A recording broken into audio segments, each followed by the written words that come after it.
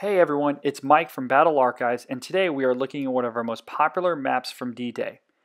One of the best maps created during the amphibious landings at Normandy, this map shows the initial troop movements up until midnight of 6 June going into the 7th.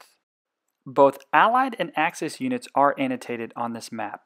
Units shown are the 101st Airborne, note the AB near the town of Carentan, the 4th Infantry Division, which hit the westernmost beach, also known as Utah Beach, and to the east at Omaha, we can see the regiments of the 29th Infantry Division, the 115th, 116th, and the 16th.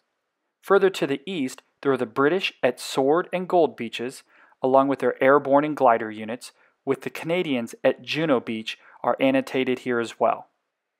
Another piece of interesting history about this map is that it came from headquarters, 1st United States Army Group, which was the paper command set up with George Patton in command in Dover, to deceive the Axis powers, the invasion was coming across at the narrowest point of the English Channel and landing at the Pas de Calais.